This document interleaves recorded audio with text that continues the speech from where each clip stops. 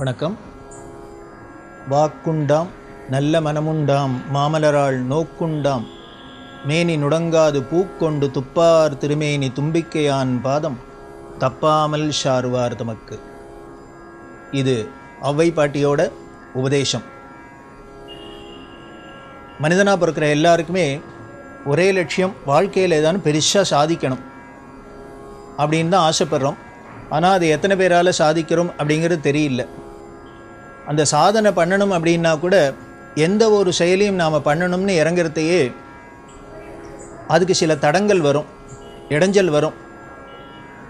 நாம் என்ன நல்லது தானே சார் பண்ணுறோம் இதில் என்ன இடைஞ்சல் வரப்போகிறது அப்படிங்கன்னா நல்லது பண்ணினா கூட இடைஞ்சல் வரும் அந்த இடைஞ்சலை போக்கிண்டா தான் நாம் நினச்சபடி சாதிக்க முடியும் அந்த இடைஞ்சலை எப்படி போக்கிக்கிறது அப்படின்னு அந்த இடைஞ்சலை போக்கிறதுக்குன்னே ஒரு கடவுள் அவருக்கு பேர் தான் விநாயகர் அப்படின்னு பேர் அந்த விநாயகர் என்ன பண்ணுறார் அப்படின்னு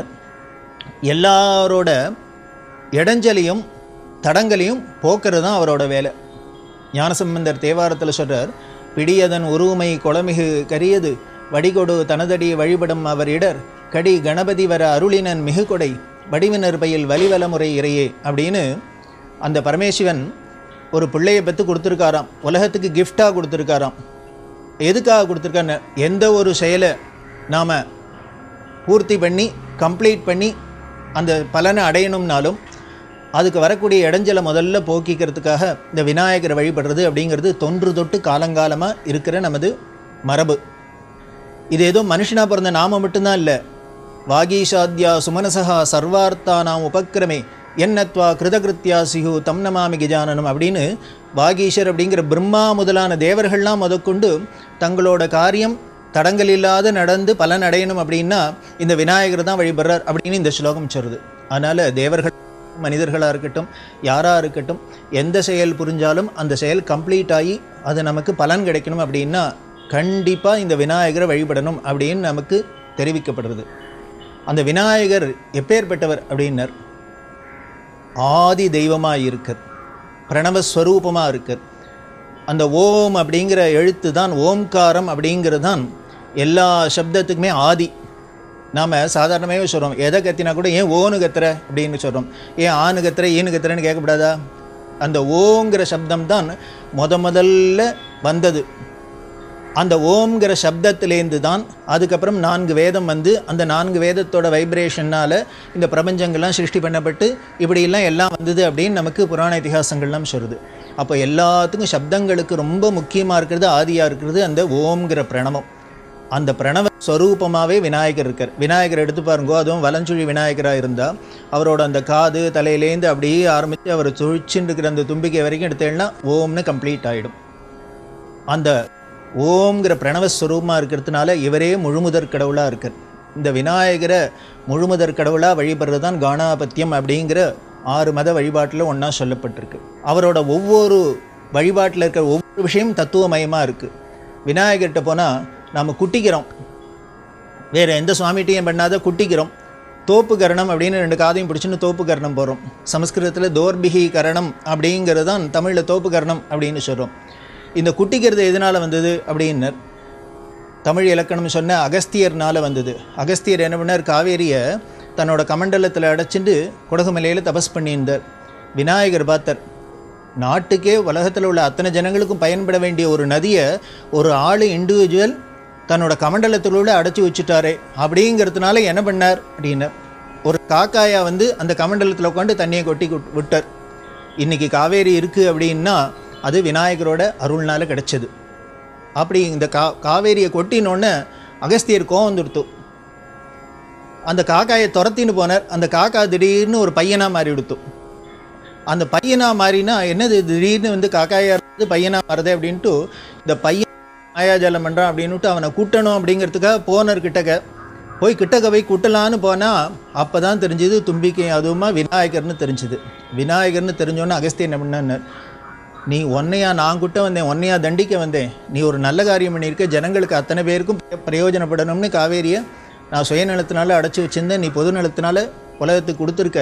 அப்படி இருக்கிற ஒன்றை தண்டிக்க வந்தேன் பாரு நான் தான் தப்பு பண்ணிட்டேன் அப்படின்ட்டு அவர் என்ன பண்ணார் இனிமேல் ஒன்றை கூட்டியிருக்கப்படாது நான் தான் குட்டிக்கணும் அப்படின்னு விநாயகர் பற்றி முதல்ல குட்டின்றார் அகஸ்தியர் அப்படி அவர் குட்டின்றதுனால என்ன பண்ணுறோம் அப்படின்னர் யாராக இருந்தாலும் நாம் தப்பு பண்ணியிருப்போம் அந்த தப்பெல்லாம் போக்கிக்கிறதுக்கு அவருக்கு முன்னால் நாம் குட்டிக்கிறோம் அதே மாதிரி அவரோட மாமா விஷ்ணு கைலாசத்துக்கு போயிருந்தார் அப்போது அவர் கையில் சக்கரபாணி சக்கரபாணின்னு அவர் கையில் இருக்கிற சுதர்சன சக்கரம் அந்த சக்கரத்தை கீழே வச்சுட்டு இந்த விளையாடி இந்த விநாயகரை போய் மருமான கொஞ்சம் அப்படின்னு கிட்டக்க போனார் இந்த குழந்தையிலே எப்பொழுதும் துரு துருன்னு விஷமம் தானே இவர் என்ன பண்ணார் தும்பிக்கையை நீட்டினர் அந்த சக்கரத்தை எடுத்து வாயில் போட்டுன்னு விட்டார் அடக்கின்னு விட்டார் அடக்கின்னா எப்படி வாங்குறதுன்னு தெரியல குழந்தைகள்கிட்ட ஒன்று பிடிச்சி கொடுத்துட்டோம் அப்படின்னா வாங்குறது ரொம்ப கஷ்டம் ஆனை மட்டும் ஏதோ பண்ணி பார்த்தார் விஷ்ணு அதால் அவரால் எடுக்க முடியல அந்த சக்கரத்தை அதனால் என்ன பண்ணினார் ஒரு விளையாட்டு காமிக்கலாம் அப்படின்னுட்டு இவர் நாலு கையும் அப்படி வச்சுட்டு இப்படி one two three one two த்ரீங்கிறப்பல இவர் குனிஞ்சு நிமிந்து குனிஞ்சு நிமிந்து உட்காந்து ஏந்துன்னு பண்ணினோடனே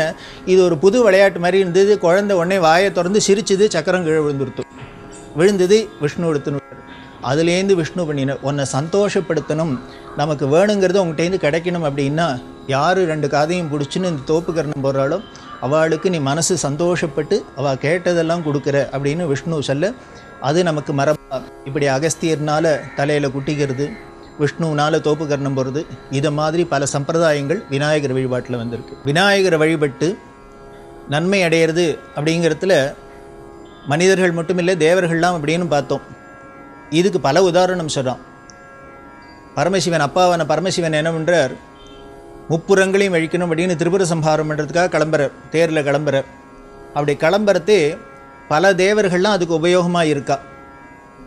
அவர் தேரை ஓட்டின்னு கிளம்பி போகிறார் டக்குன்னு அச்சு முறிஞ்சு போயிடுறார் அச்சு முறிஞ்சால் என்ன ஆச்சு தேவலோகத்து சிற்பி பண்ணின தேர் அது எப்படி அச்சு முறியும் அப்படின்னா ஒரு சிரிக்கிற சத்தம் கேட்குறது ஒரு குழந்தை சிரிக்கிற சத்தம் பார்த்தாக்க விநாயகர் நான் தான் இவர் தான் பண்ணியிருக்காருன்னு தெரியறது அப்பா கேட்குற என்னப்பா ஒரு நல்ல காரியத்துக்கு கிளம்பின்னு இருக்கோம் எதுக்கு அச்சம் முறிச்சு அப்படின்னு அதுக்கு அப்பாவுக்கு விநாயகர் சொல்ற நீங்கள் தானப்பா சொன்னீர் யாராக இருந்தாலும் எந்த நல்ல காரியத்துக்கு எந்த காரியத்தை கிளம்பினாலும் முதல்ல என்னை வழிபட்டுட்டு என்னோடய அருள்னால எந்த இடைஞ்சலும் இல்லாத போய் தான்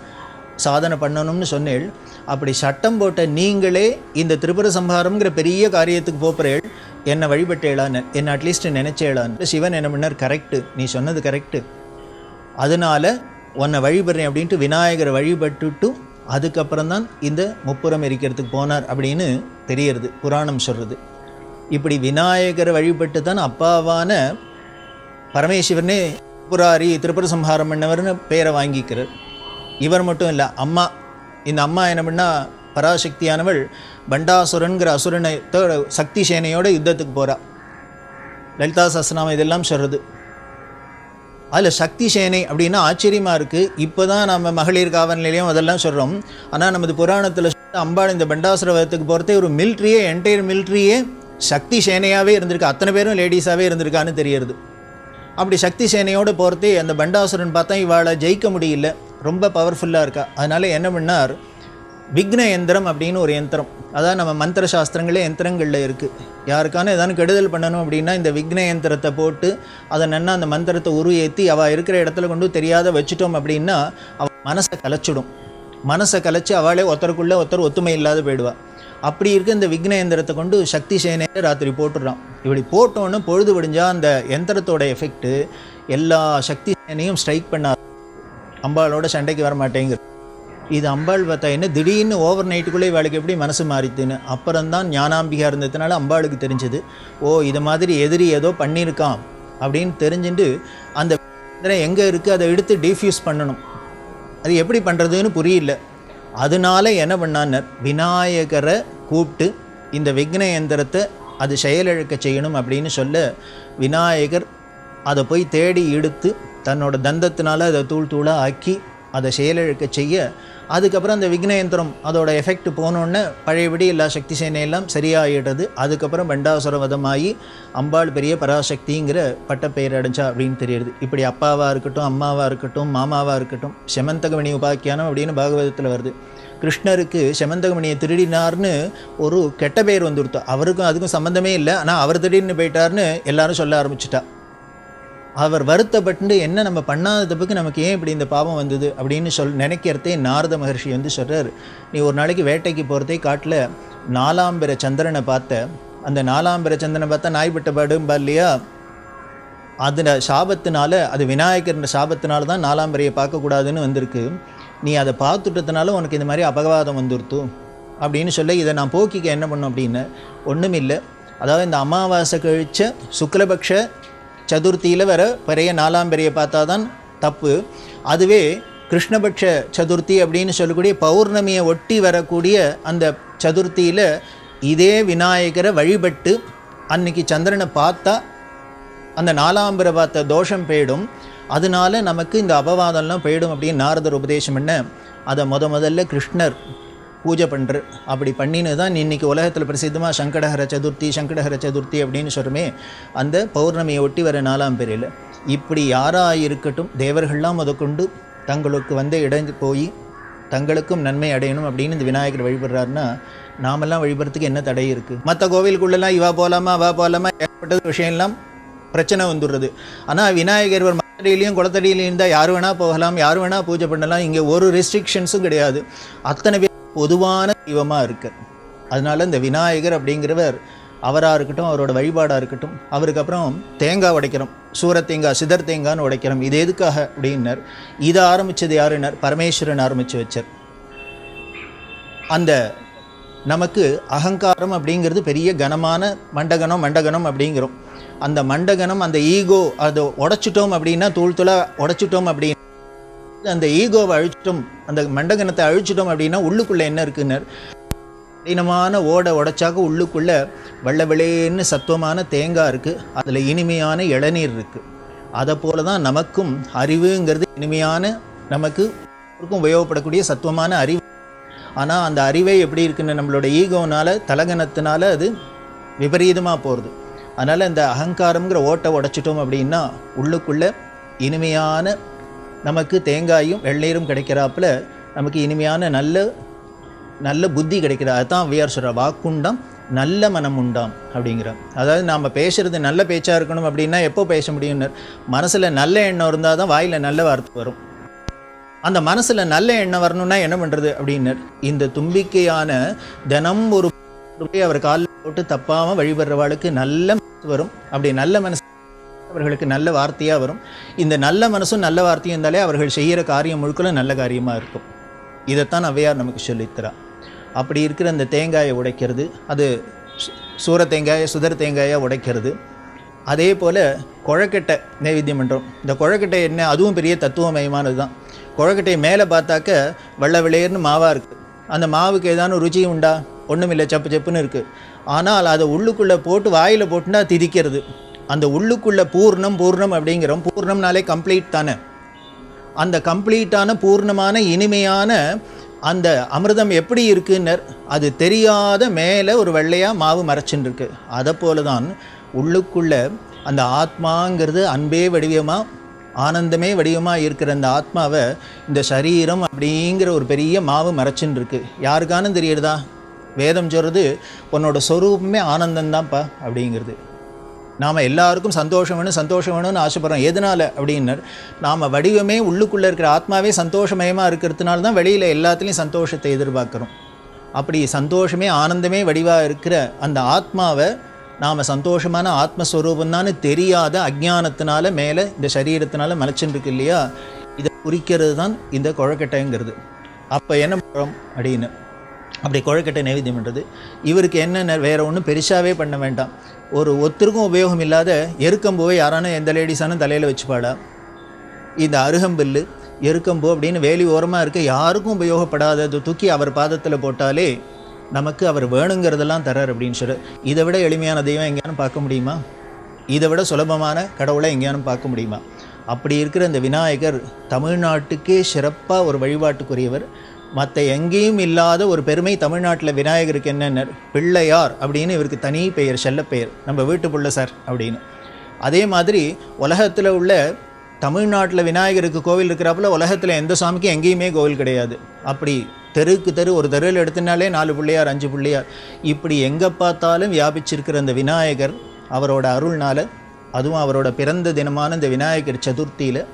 அவரை வழிபட்டு நம்மளால் முடிஞ்ச அளவுக்கு எளிமையான ஒரு பூவையான அவருக்கு போட்டு இல்லையா ஒரு குட்டிண்டு ஒரு தோப்பு கரணமானும் போட்டு நமஸ்காரமானும் பண்ணி